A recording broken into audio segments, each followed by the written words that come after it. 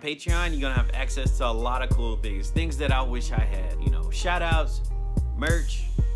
This is flying here, it's pissing me off. Stickers, exclusive BTS content up to days before I post on Instagram.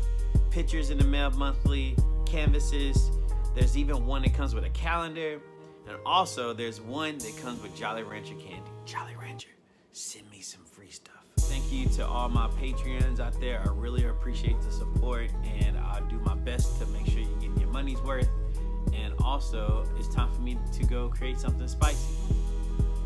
I mean, all right, I'm sorry. I'm trying to work on a new catchphrase, and you know, I was thinking last night, go create something spicy. But now that I say it out loud, it sounds really stupid, and uh, I'll I apologize for that. Thank you all again.